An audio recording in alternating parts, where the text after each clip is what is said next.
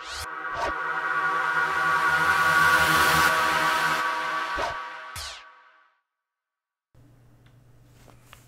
everyone, uh, Snipe Trading here.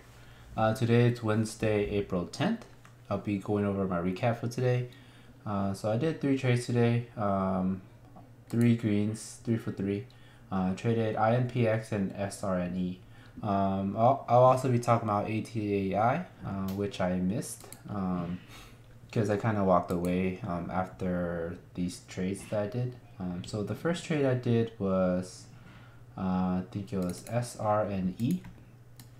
So SRNE, it had a uh, long opportunity.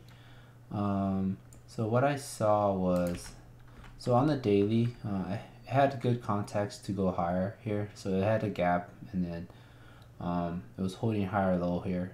Um, so I felt like there was a um, opportunity for for long.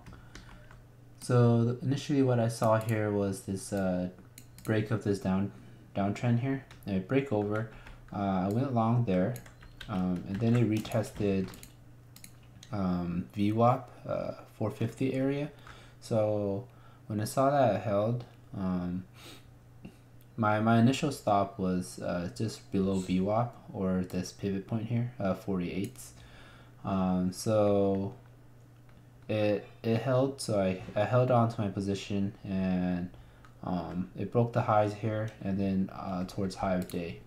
So my first target was uh, the high of day, uh, and then I saw it was kind of a, little bit extended um, on the minute chart, so I, I just took it off um, for a 66 $66 win. Um, and then it ended up uh, fading away. I actually located some shorts here, but I didn't take any um, short opportunity here, but this could have been a trigger here if you're looking for um, the VWAP break and the inverted cup and handle. Um, so my next trade was INPX. So INPX, I did two trades. Um, the first trade I did was um, I saw this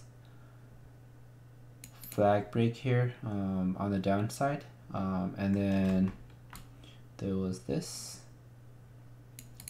So I went ahead and long, went long here with my wrist off of uh, this downtrend um, line. Uh, when it broke, the volume was uh, really low. Um, so I just took it off and this was just a quick uh, $12 winner. Um, and then uh, after it fell to hold and I think it was uh, 48 here, um, it was holding support here at 48. You can see that it's trying to hold 48. So 48 was a key area uh, and it was creating these uh, lower uh, highs. So when I saw that, um, I went ahead and with my risk, I went ahead and uh, started short. So SSR was on. So uh, SSR is short sell restriction. So um, you cannot hit the bid um, to get into position, you had to be in the offer. So I got in a little early um, just to anticipate this uh, 48 crack, uh, just to get in the stock. Um, and then my risk was um, the 160 area. Um, so when this one retested this trend line here, uh, that was my new risk at the 155. Um, so I ended up breaking um, the 148 area and then I ended up taking some profits at 140 um, and then at 130 and then took the rest off when it broke above the 130 MA um, and then this actually uh, if you can see it actually uh, went all the way down to the 60 minute uh, the hourly chart 90 MA so that was the, the, the final target for me. Uh, but it ended up uh, trailing trailing all the way back down to like 110s um, so I'll talk about ATAI. So ATAI, um, it had a huge break here off this long uh, trend here. Um, it, this was a great setup uh, that I missed.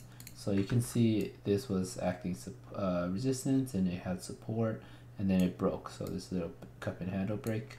Uh, and then that was a good uh, long position there at this uh, 2 280 area. Um, and then it, it kind of ripped and squeezed out a bunch of bunch of shorts. Um, went all the way to a high of 450. So this we should see another another move here uh, tomorrow. Um, I'll be watching it for uh, either bias, long or short. But uh, I did three trades today, uh, up overall of $159. Um, so yeah, as always, um, thank you for watching and don't forget to subscribe, like, and comment. Okay, bye bye.